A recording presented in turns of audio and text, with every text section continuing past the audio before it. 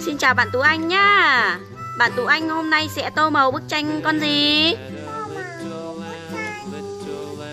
con cua À, tô màu bức tranh con cua đúng không nào? Thế Tú Anh đã chuẩn bị những màu gì để tô màu bức tranh con cua đấy? Đâu, à rất là nhiều màu đúng không nào? Rất là nhiều màu sắc để cho Tú Anh chọn lựa đúng không?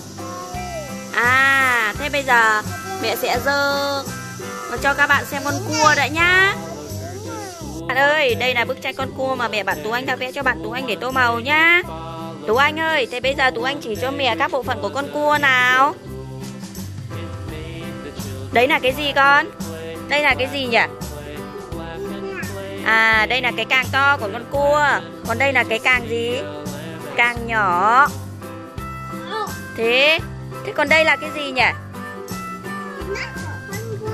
À, đúng rồi. Tú Anh ơi, thế bây giờ con thích tô con cua màu gì?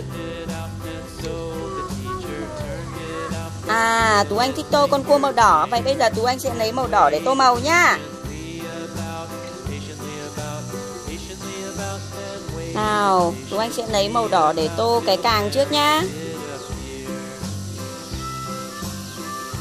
Đúng rồi, con tô cẩn thận vào nhá con cầm bút thẳng lên con.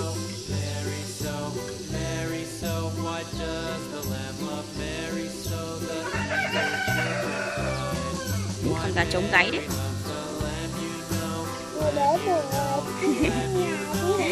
Đói bụng rồi á. Được rồi, thế Tú Anh tô màu xong Hai mẹ con mình đi chăn gà nhá. Rồi con tô màu đi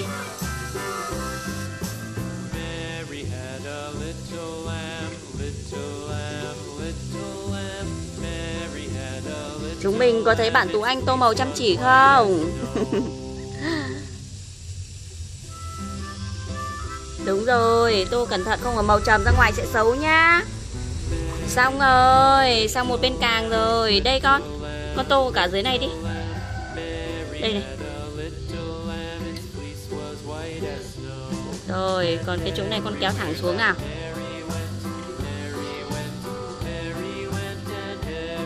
Đúng rồi. Rồi, càng tiếp theo nào.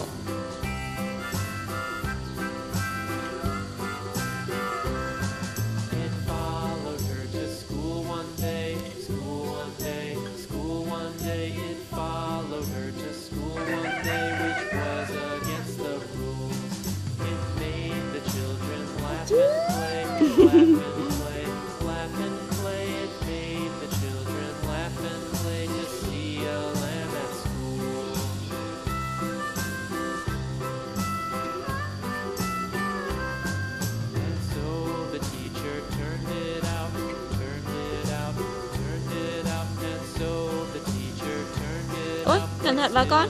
Màu này bị trầm ra ngoài rồi. Đúng rồi, màu trầm ra ngoài nhìn xấu lắm. Con phải tô cẩn thận vào chứ. Xin to rồi.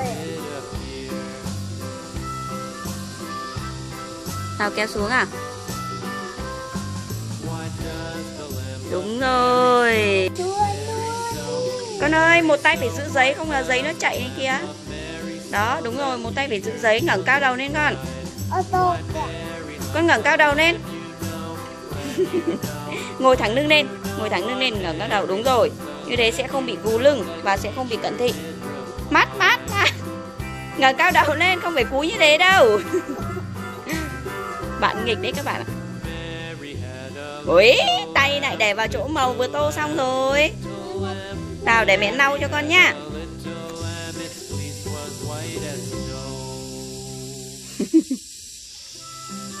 Nào tô hẳn hoi nào con Tô cẩn thận vào. Tô đều vào chứ. Tô chỗ nào hết chỗ đó nhanh lên Không được nghịch nhá. Nghịch sẽ bị màu bị tròn ra chỗ khác sẽ rất là xấu đấy. Ít thôi Đúng rồi, đấy vừa đủ để tô thôi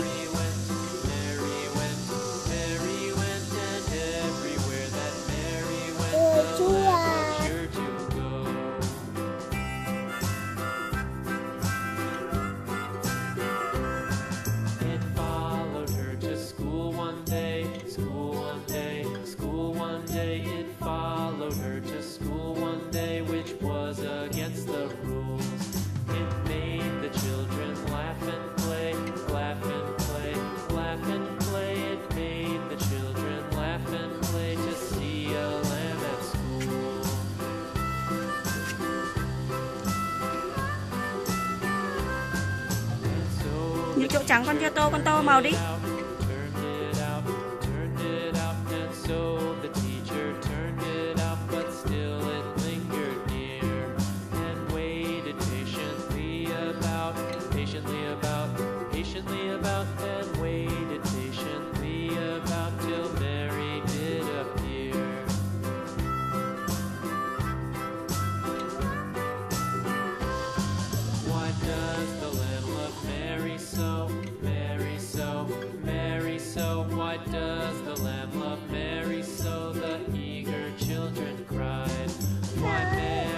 Trầm ra ngoài.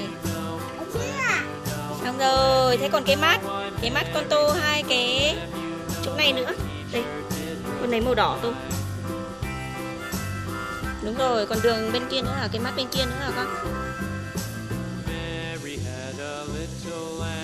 Đúng rồi. Xong.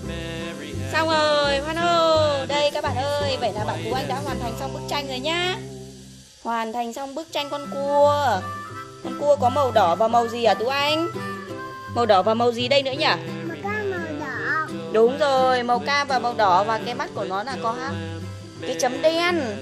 Đó là màu đen nhỉ? Ô Tú Anh ơi, không được cho bút ngậm vào mồm con. Rất là bẩn nhá. Không được con không được cho bút ngậm vào mồm nhá. À màu thơm quá.